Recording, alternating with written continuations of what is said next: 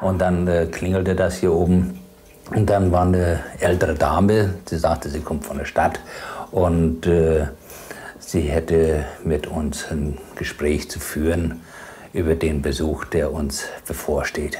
Na, und dann haben sie eben gesagt, wir möchten die Fenster nicht aufmachen, wenn der Besuch ist. Also eben, eben Sympathiekundgebung zu vermeiden. Wir durften ja nicht einmal als Bewohner des Hauses auf die Straße gehen. Beziehungsweise vor neun verlassen, aber dann erst nach 18 Uhr wiederkommen. Also so in der Zeit hatten wir hier keinen Zugang zum Haus oder eben keinen Ausgang.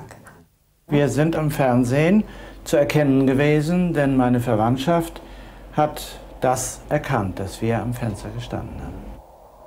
Mit Fernsehen ist das Westfernsehen gemeint und das war in Güstrow am dritten Advent 1981. 48 Stunden zurück, Freitagnachmittag, 11. Dezember. Bundeskanzler Helmut Schmidt landet zu einem Arbeitstreffen mit Erich Honecker in der DDR. Über 1000 Journalisten sind akkreditiert. Das DDR-Fernsehen berichtet live und betont weltoffen.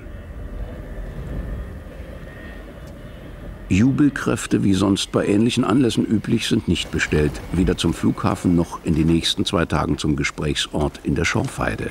Die Bevölkerung sieht fern.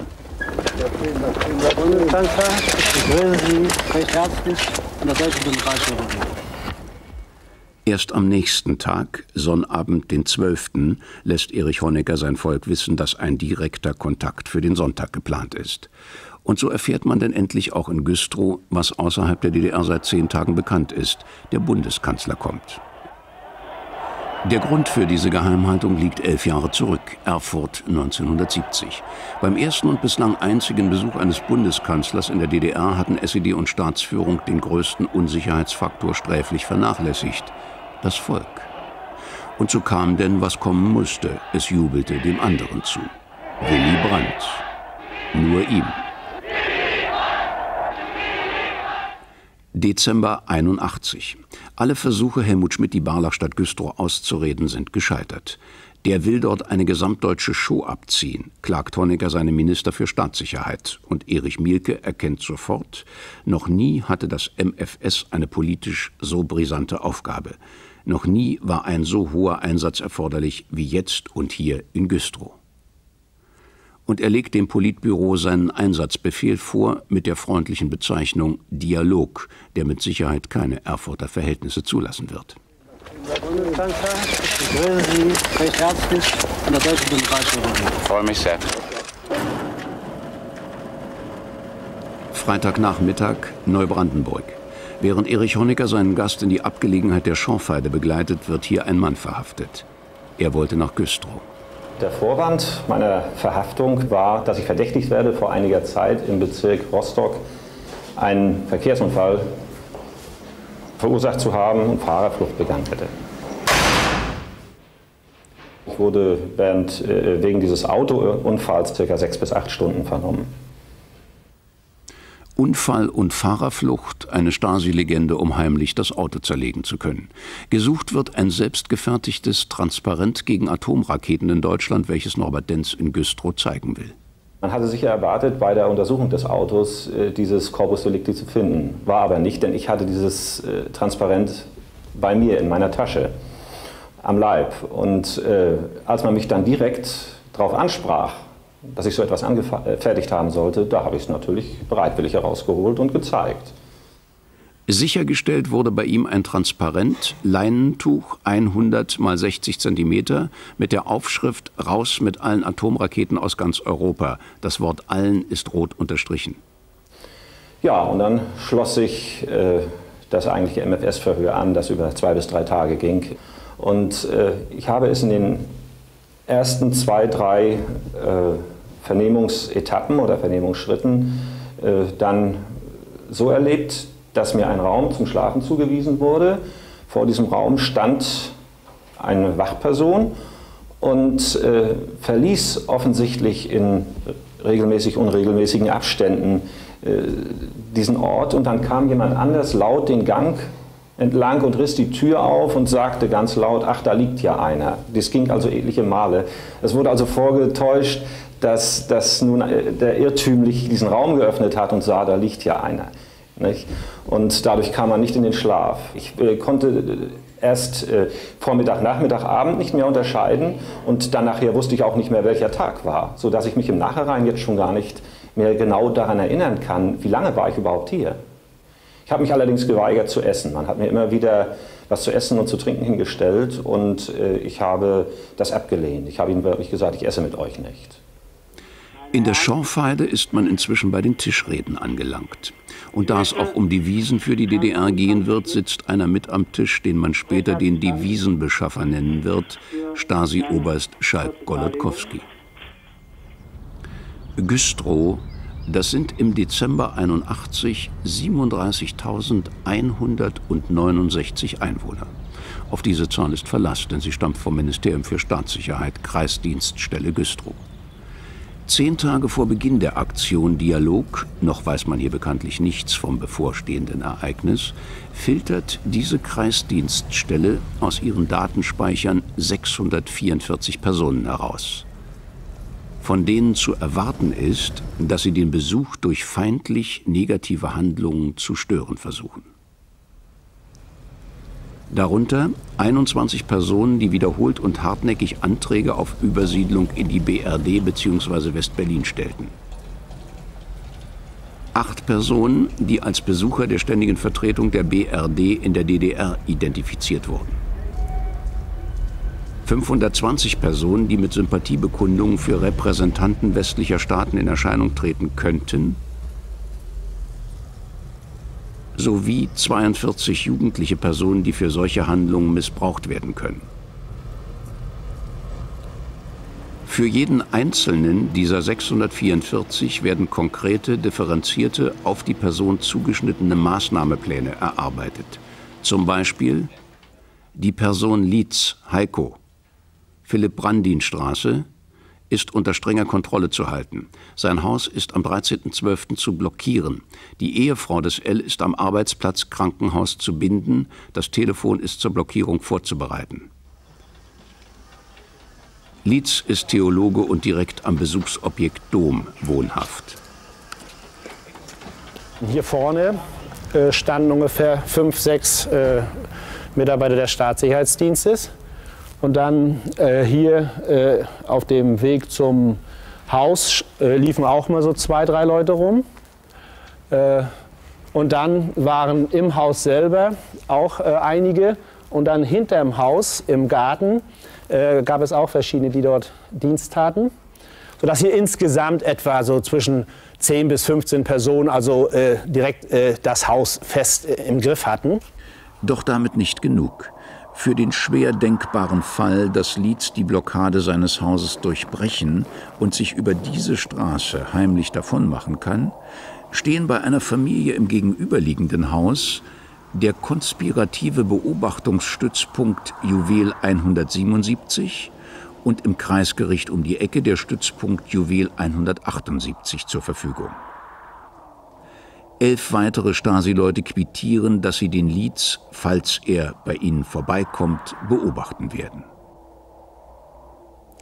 Eingesetzte Technik, diverse Kameras, Teleobjektive, Weitwinkel, Ferngläser, Abhörtechnik, Funkgeräte, auch getarnte Funkkoffer und 1981, wie Helmut Schmidt hier war, da wurde ohne unsere Einwilligung das Haus also bloß bis in der Höhe, Fensterhöhe gestrichen. Das sieht man eindeutig heute noch. Ne? Und dann äh, haben wir noch gefragt, was sie hier machen. Naja, sagten sie, das ist in Ordnung so. Späterhin, wie alle der Rummel vorbei war, da kriegten wir dann die Rechnung ins Haus geflattert. Ne? Die Stadt ist in einen Zustand zu versetzen, verlangt die Partei, der dem Ansehen des Sozialismus gerecht wird. Und das Ganze bis Sonntag ohne große Kosten und selbstverständlich bei vollkommener Wahrung der Konspiration. Gemessen daran haben die Genossen der Staatssicherheit eine leichte Aufgabe. 644 Personen waren ihm gemeldet worden auf 37.169 Einwohner?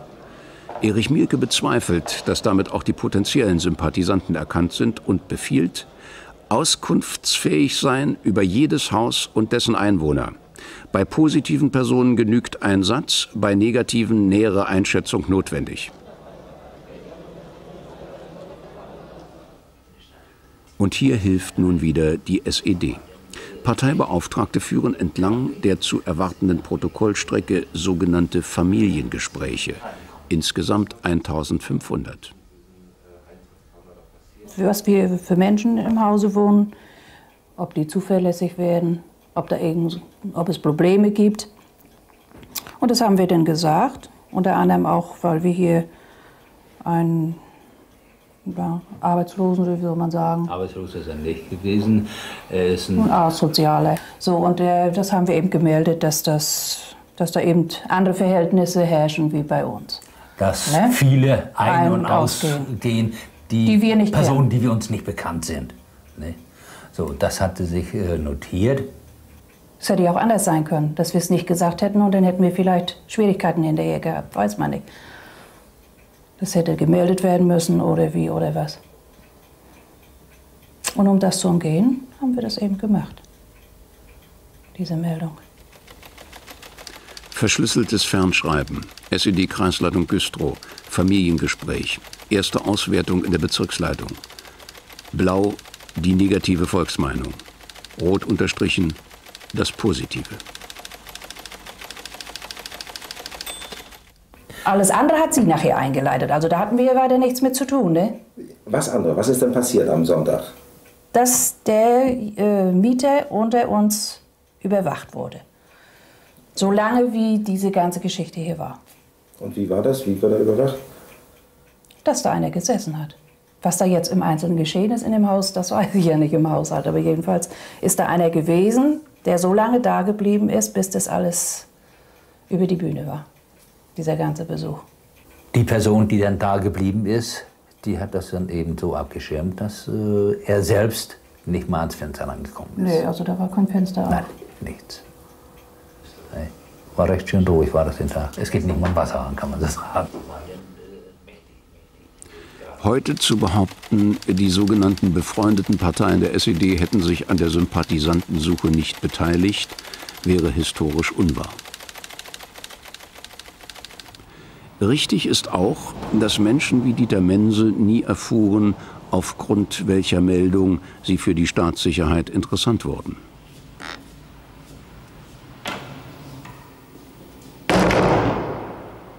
Hier wurde ich reingeführt in diesem Raum. Dort saß der Vernehmer und äh, stellte mir dann Fragen. Er schmiss einen, so einen Ordner auf den Tisch und stellte mir dann Fragen. Ich sollte sagen, was ich an diesem Tag vorhatte. Ich sage, äh, sagen Sie mir, mit, mit, welchem Recht machen Sie das, dass Sie mich hier herholen? Da beugt er, so, äh, sich, über, äh, beugt er sich so über mich rüber und ganz dicht ran und äh, rief dann in einem barschen Ton, so auf Deutsch gesagt, äh, wir haben noch ganz andere Rechte und wir können noch was ganz anderes mit Ihnen machen. Ich sagte, dass ich essen, schlafen und Fernsehen gucken wollte und er mir das wohl nicht abnahm und ich musste das immer wiederholen, dass er sagte, essen wollten Sie. Schlafen wollten sie. Na, Herr Mense, nun sagen Sie mal, was hatten Sie nun, was hatten Sie nun vorher? Ich habe Ihnen das Gleiche wieder erzählt. Bis das ja nach drei, vier Mal war mir das ja selbst zu bunt und habe nichts mehr gesagt und habe Ihnen dann auch nicht mehr, keine Antwort mehr gegeben.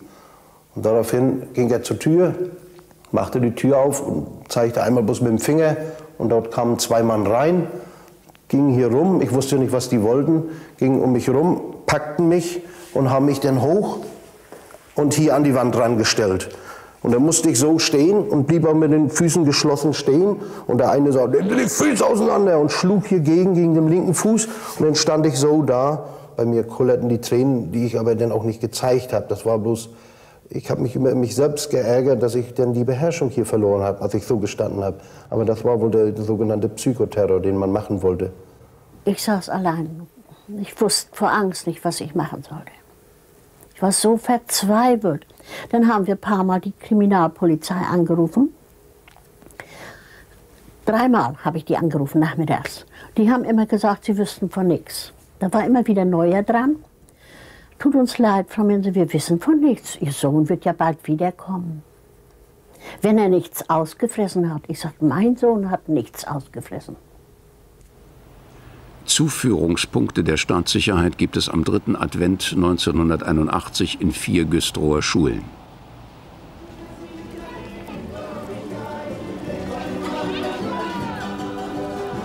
Ungeahnte Freizügigkeit genießen dagegen westliche Journalisten. Sie dürfen sich Tage vor dem Ereignis in der Stadt bewegen und jeden Bürger ungehindert ansprechen. Weltoffenheit. Drei, vier Tage vor dem Schmidt-Besuch bekamen wir auch Besuch in der Apotheke. Ich arbeite damals am Markt. Und zwar wurde uns, wurden uns Verhaltensmaßregeln erteilt, wie wir uns zu verhalten hätten, wenn Schmidt kommt, wenn äh, Journalisten uns dazu befragen. Nun sollten wir ja Positives erzählen. Einmal ging es natürlich um die Anerkennung der Staatsbürgerschaft der DDR. Dann sollten wir die sozialpolitischen Maßnahmen positiv hervorheben und ähnliches, ja. Weiteres kann ich mich im Moment weiter nicht erinnern. Und wer kam dann durch die Apotheken? Das war eine vom FDGB, die war damals Vorsitzende des Kreisvorstandes Gesundheitswesen, so nannte sich das wohl. Eine Frau Schröder war das. Das ist nicht wahr. Das ist auf keinen Fall wahr. Kann sein, dass von anderer Seite solche Verhaltensregeln abgegeben wurden, aber nicht durch meine Person. Bestimmt nicht. So wahr wie ich es stehe. Das haben wir nie gesagt. Tja, dann muss sie es wohl verdrängt haben. Vielleicht will sie es nicht mehr wissen. Na, so eine Woche bevor Helmut Schmidt mit Honecker hier nach Güstrow kam, kam ich über den Marktplatz und traf einige Studenten der Pädagogischen Hochschule. Und die froren ganz entsetzlich. Und da habe ich gesagt, sag mal, was macht ihr denn hier so lange an diesem langweiligen Weihnachtsmarkt? Und da haben sie mir eben erklärt, dass sie sozusagen Lockvogelpositionen eingenommen haben. Die hatten vorbereitete Antworten, wenn nämlich die Westjournalisten auf sie zu, waren so in Grüppchen verteilt. Und wenn also Westjournalisten sie ansprechen, dann sollten sie auf bestimmte Fragen antworten. SED-Kreisleitung an Bezirksleitung. Politisch klug reagierte eine Studentin der Pädagogischen Hochschule. Ich erwarte, dass die Staatsbürgerschaft der DDR anerkannt wird. Gezeichnet Schubert. Dazu Schubert heute. Nein, es gab dabei äh, eine ganze Reihe Studenten, äh, deren Aufgabe auch darin bestand, Gesprächspartner für westliche Journalisten zu sein. Herr Lockvogel nicht. Als Lockvogel nicht. Also sie sollten die Anerkennung der Staatsbürgerschaft der DDR als Hauptpunkt natürlich fordern. Ne? Das, das war das Wichtigste. Und das ist aber auch mit ihnen vorbereitet worden. Ne? Einige Bürger machen Meldung, dass sie von Westjournalisten angerufen wurden. Das sind gute Bürger. Als Kontaktperson wird eingestuft, wer nicht meldet, wie der Arzt Dr. Tunicke. Das ist ein uns befreundetes Ehepaar. Die sind beide Fern Fernsehjournalisten in Hamburg gewesen. Und die hatten angekündigt per Telefon, ungefähr eine Woche vor dem Schmidt-Besuch, dass sie mitkommen wollten in dem Journalistenpulk mit Helmut Schmidt. Und dieses Telefonat ist dann mit meiner Frau geführt worden aus Hamburg und ist offensichtlich dann auch abgehört worden. Und dann kam mir eben auch dieser Einberufungsbefehl, dass ich vom 11. bis zum 14. Dezember in Neustadt-Lewe im Militärlazarett sein soll. Ich konnte mich im Lazarett frei bewegen, sollte aber das äh, Gesamtobjekt, dieses militärische Objekt nicht verlassen. Und so habe ich dann dort diese Tage verbracht und konnte dann im Fernsehen dann auf meinem Zimmer äh, miterleben, wie Helmut Schmidt Göstrow besucht hat. Je näher der Besuchstermin heranrückt, desto hektischer wird die IM-Tätigkeit. So meldet ein IM Günther gleich drei verdächtige Personen, die, wenn sie an Schmidt rankommen, winken wollen. Maßnahmen sind eingeleitet. Mario, 10. Klasse Thielmann Oberschule, äußert, ich gehe am Sonntag zum Marktplatz und rufe, Schmidt nehme ich mit. Maßnahmen sind eingeleitet. Hydrierwerk Parchim. 1000 Werksangehörige sollen unterschreiben, Güstrow fernzubleiben. Maßnahme wird bekannt, deshalb abgebrochen. Frau Elisabeth Gerschewski aus Daschow, deren Tochter in der Bezirksnervenklinik Schwerin an Gehirntumor behandelt wird, ist am 13.12. unter Kontrolle zu halten. Ich hatte Folgendes getan. Ich bin nach Schwerin gefahren und habe meine Tochter besucht und daraufhin habe ich äh, äh, bei der Stationsärztin nachgefragt, ob es möglich wäre, dass meine Tochter in Essen behandelt werden kann. weil dort gab es eine Möglichkeit, ohne Bestrahlung, also Tumore zu behandeln, indem man eine Flüssigkeit hineinspritzt. Ich hatte gesagt, mir ist es, also jetzt, äh, wo der Kalte Krieg doch sozusagen beendet ist, Helmut Schmidt kommt äh, in die DDR und auch nach Güstrow, dann müsste es doch möglich sein, dass meine Tochter in Essen behandelt wird, weil dort meine Verwandten sind. Ja, ein paar Tage bevor Helmut Schmidt da nach Güstrow kam, ist die Bürgermeisterin zu mir nach Hause gekommen und hat gesagt, dass sie Besuch hatte vom Rat des Kreises. Zwei Kollegen von Abteilung Inneres wären dort gewesen. Und denen wäre zu Ohren gekommen, dass ich mich an Helmut Schmidt wenden wollte und eine Petition übergeben wollte. Und äh, das sollte ich ja nicht wagen, sonst würde mein Mann seinen Posten als Meister verlieren.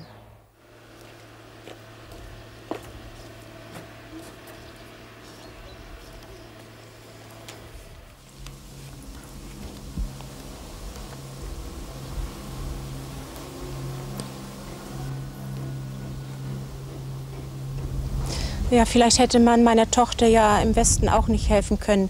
Aber ich wollte ja nichts unversucht lassen. Vielleicht könnte sie noch leben, vielleicht wäre sie jetzt 27 Jahre alt. Hat am 1. August Geburtstag.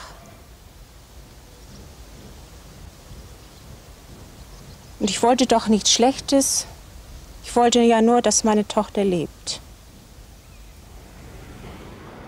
Sonntag, 13.12.81, der Besuchstag. Seit den frühen Morgenstunden sind die Greifkommandos von Polizei und Staatssicherheit unterwegs. Unterstützt durch 1200 Kräfte aus den Bezirken Gera, Leipzig, Karl-Marx-Stadt wird zugeführt. Anfangs in die umliegenden Polizeikreisämter Bützow, Sternberg, Parchim, Lübs, dann erst in vier ausgewählte Güstrower Schulen. In der Volksrepublik Polen ist in der Nacht zum Sonntag das eingetreten, weshalb Bundeskanzler Schmidt im Vorjahr einen geplanten Besuch der DDR absagte.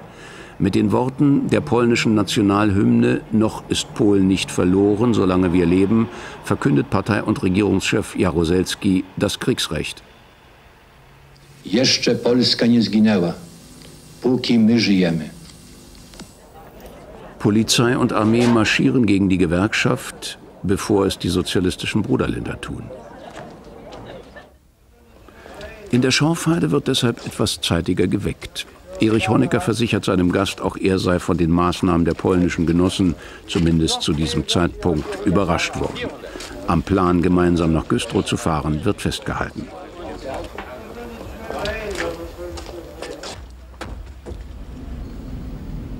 In Güstrow herrscht kein Kriegszustand. Eine gewisse Ähnlichkeit mit polnischen Fernsehbildern ist zufällig.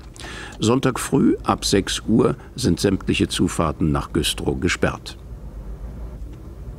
Ich nahm mir meine Kinder, vier und sechs Jahre alt, und die Skier. Wir fuhren hier raus, um Ski zu fahren. Wir gingen diesen Weg hoch, aber dort kamen uns zwei Herren mit Maschinenpistole entgegen die uns unmissverständlich klar machten, dass an diesem Tag hier nicht Ski gefahren werden kann. Und ich habe mich nicht auf lange Diskussionen eingelassen. Die Herren hatten die stärkeren Argumente. Sonntag früh 8 Uhr. Der militärische Außenring um Güstrow ist geschlossen.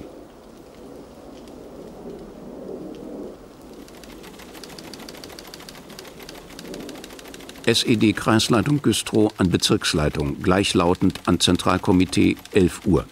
In der ganzen Stadt herrscht eine aufgeschlossene, erwartungsvolle Atmosphäre.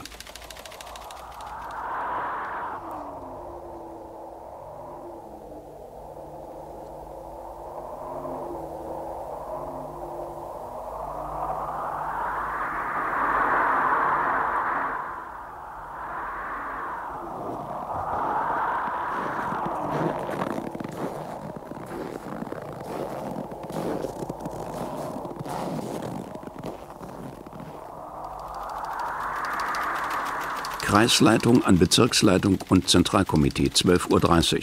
In der ganzen Stadt herrscht eine festtägliche Atmosphäre.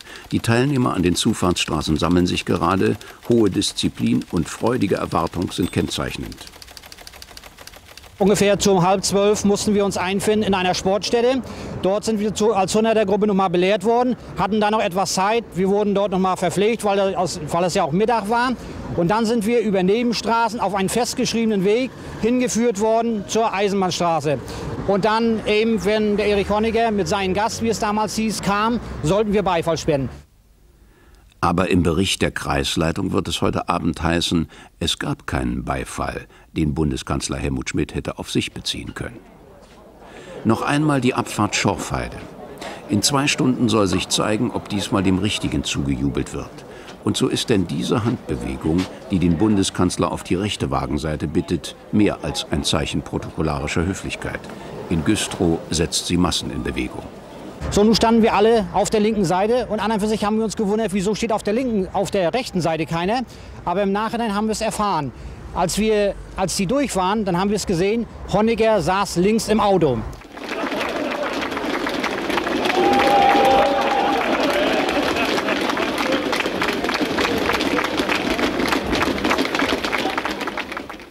Operativer Einsatzstab Aktion Dialog. Zum Verhalten der Zuschauer wird orientiert, dass das Klatschen erlaubt und erwünscht ist. Auswahl guter Genossen, Frauen und Jugendlicher. Maßgerechtes Publikum.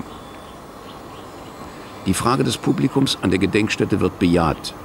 An exponierter Stelle gebündelt auftreten, ansonsten als Spaziergänger mit wechselnder Konzentration.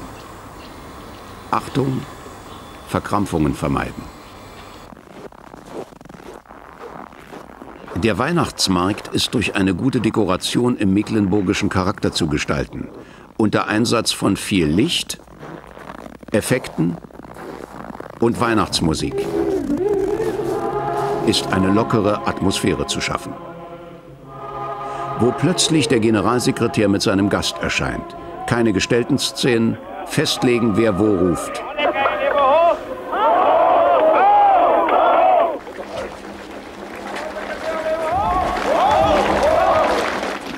Und dann passiert es eben doch.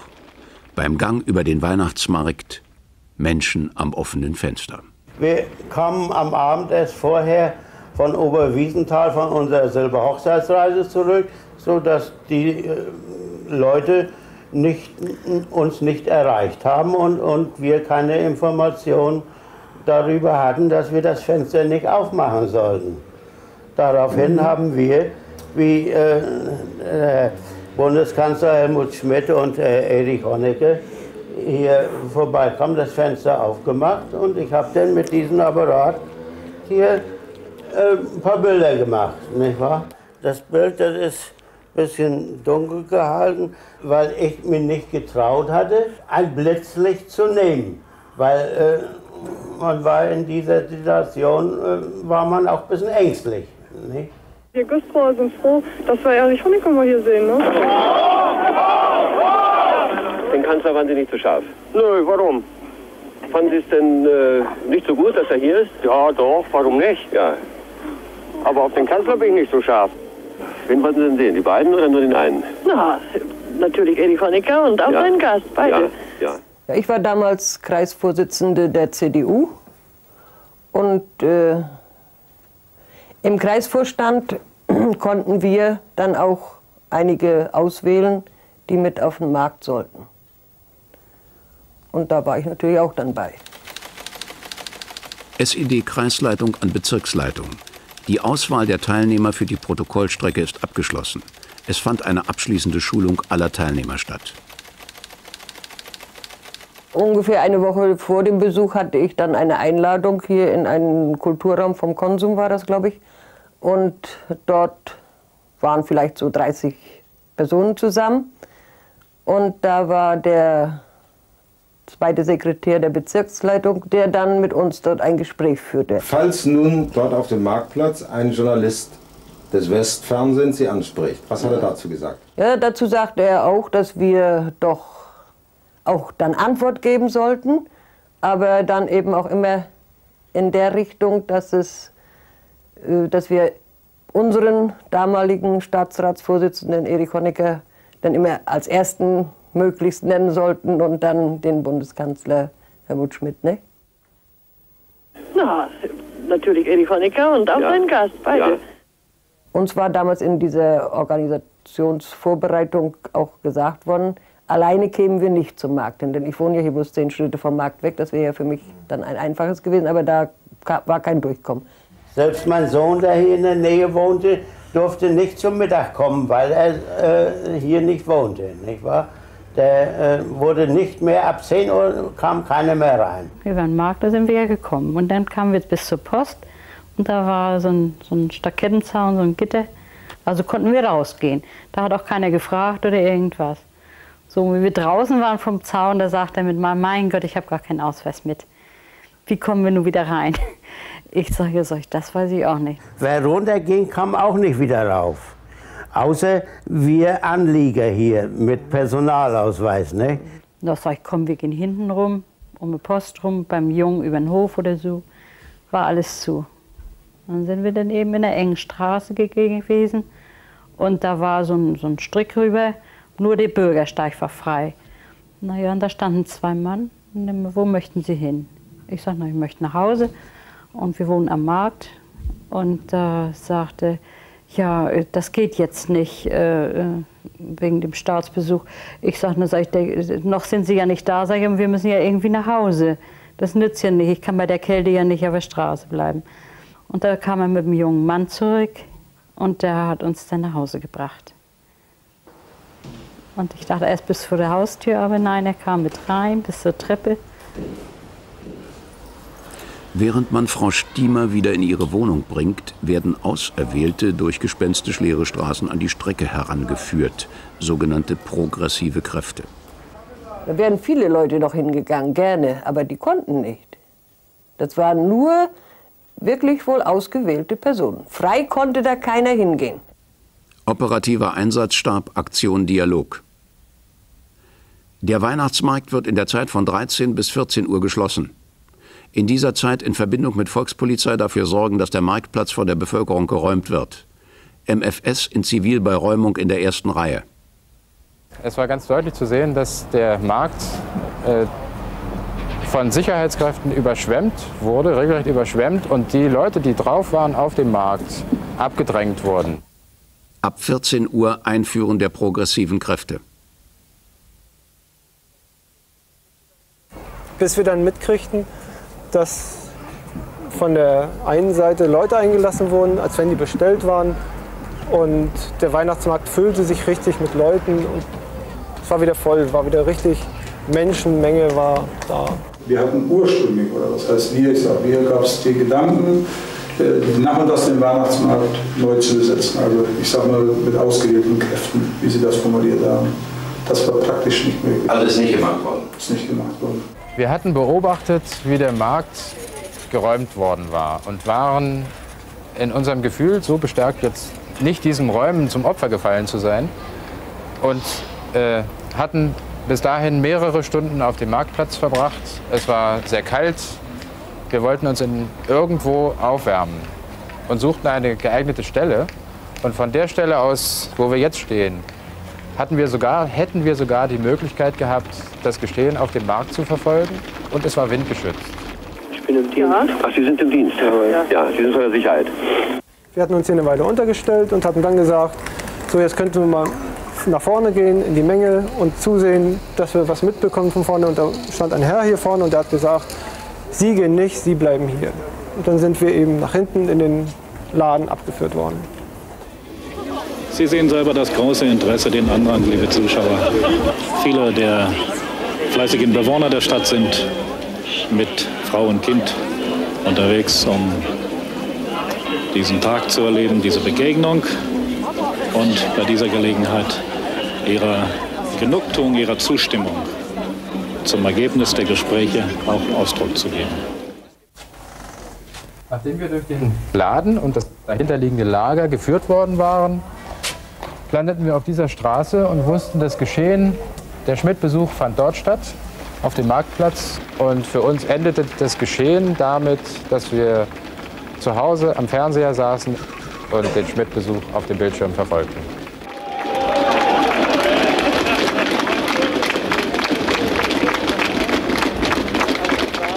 Und einer war da, wird es heute Abend in einem westlichen Fernsehkommentar heißen, einer war da auf dem Güstrower Weihnachtsmarkt, der hatte Courage. Takte sind wir auch sehr, dass die ausgebaut werden. Ja. Denn ich möchte als Deutscher in der DDR auch in ganz Deutschland umherfahren. Das möchte ich ganz offen hier mal sagen. Ja, ja. Das kann man ja nicht. Denn ich sehe das nicht ein, warum ich nur in der DDR und nach Osten fahren kann. Ich habe Verwandte drüben, aber ich darf nicht hin. Der Mann ist in Güstrow unbekannt. Die Recherchen zu diesem Film ergeben Kirchgemeinderat. Traktorist auf einer LPG, der neun Jahre nach Güstrow den elterlichen Bauernhof zurückbekommt. Dann stirbt er, Hans Kamin. Als mein Vater davon erfuhr, dass Helmut Schmidt nach Güstrow kommt, fasste er den Entschluss, dorthin zu fahren, um vor westlichen Reportern seine Meinung offen kundzutun. Und meine Mutter und ich waren daraufhin doch in einiger Sorge, ob das denn auch gut gehen würde. Aber er machte seinen Entschluss wahr und fuhr dann am Sonntag früh nach Güstrow. Er hatte ausgekundschaftet, ab 6 Uhr ist die Stadt geschlossen. Aber der Bus um 5.25 Uhr würde eher dort sein. Gegen 10 Uhr haben ihn Zeugen im geheizten Dom gesehen, wo nach Beschaffung von Feuerwehruniformen der Gottesdienst zum dritten Advent ohne weitere Behinderung stattfinden darf. Wie er von dort in die Innenstadt gelangt und die Mittagsräumung des Marktes heil übersteht, bleibt rätselhaft. Er ist jetzt zehn Stunden in der Stadt.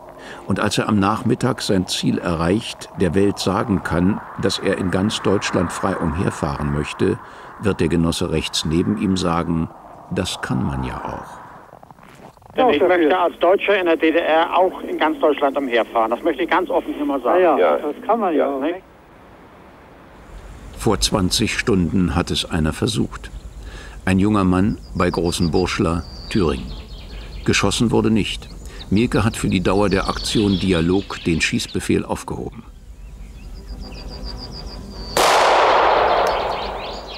Aber die automatische Schussanlage SM-70 lässt sich nichts befehlen. Salzgitter registriert einen innerdeutschen Grenzzwischenfall mehr. Ein Schwerverletzter. Er wollte von Thüringen nach Hessen. Das kann man ja, das kann man ja. Nicht? Natürlich weiß auch er, dass man das nicht kann. Aber Hans Kamin, der immer noch in seine Westkamera spricht, verwirrt die Genossen. Dabei gibt es klare Richtlinien des Einsatzstabes. Bei direkter Konfrontation mit Korrespondenten kleine Gruppen bilden. Dialog offensiv führen. Negativen Kräften keine Möglichkeit zu einer Äußerung geben. Keine Möglichkeit, Genossen, heißt keine. Also bitte, Genossen. Die allerwichtigste Frage, die wir gegenwärtig haben. Ob ich dann nun, Genau so. Warum haben Sie das Wer, wer erkennt dich denn da drüben an? Der respektiert dich als DDR-Bürger. Wer erkennt dich denn da drüben an? Der respektiert dich als DDR-Bürger.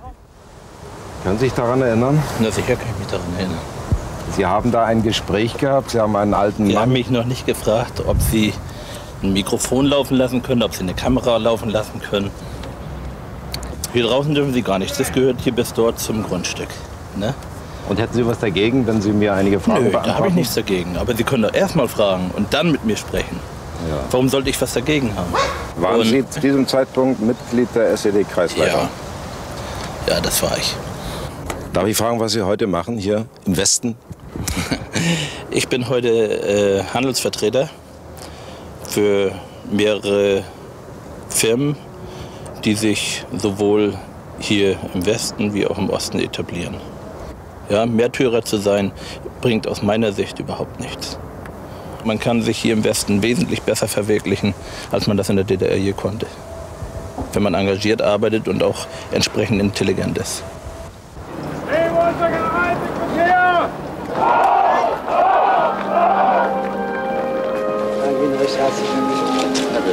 Bundeskanzler, seien Sie herzlich Ein willkommen. wirklicher Höhepunkt der Besuch des Doms. Keine Jubelrufe, stattdessen Orgelmusik. Helmut Schmidt führt einen stummen Dialog mit dem Werk Ernst Barlachs und hält sich auffallend zurück, als Landesbischof Rathke sich seinem Staatsratsvorsitzenden zu nähern versucht. Ich sah da eine einmalige Gelegenheit, dass ich als Landesbischof dem Staatsratsvorsitzenden so unmittelbar begegne und meine, es sei meine Verpflichtung, ihm bei der Gelegenheit sehr deutlich und möglichst unter vier Augen Dinge zu nennen, die uns erheblich bedrücken. Ich habe den Eindruck, dass er schon ein wenig erstaunt war. Vielleicht lag das auch an meiner ein wenig heftigen Art, weil mich die Dinge äh, sehr beschäftigten. Honecker ist keineswegs erstaunt. Am Vortag um 13.30 Uhr geht dieser Bericht eines EM aus der Umgebung des Bischofs ein. Radke ist außerordentlich aufgebracht und will versuchen, mit Genossen Honecker unter vier Augen sprechen zu können. In dem Fall äh, musste ich sicher davon ausgehen, dass man mit allen Mitteln und auch über Menschen versucht herauszubekommen, was die Kirche will. Denn eins hatten wir vorher mit allen Mitteln zu erreichen versucht, dass in unserer Kirche die Stasi nichts zu tun hat. Doch die war immer da, wie dieses Stasi-Foto der Begrüßung zeigt. Und der dicke Herr links im Bild, Vorsitzender des Kirchgemeinderates, lässt sich beim Treff mit dem Führungsoffizier sogar die Kirchensteuer rückerstatten. Herr Schmidt, Bonbon habe ich noch. Haben Sie auch noch?